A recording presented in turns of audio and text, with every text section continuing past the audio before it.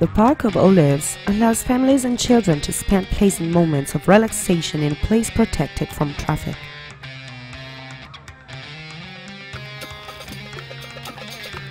The park is a tribute to the most important symbol of Salento, the olive tree.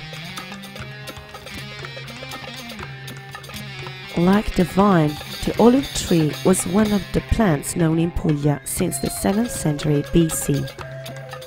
The numerous presence of this stupendous plant species is also due to the Basilian monks, who, over the centuries, acquired possession of vast areas of Salento, deepening a strong stimulus to the cultivation of the olive tree.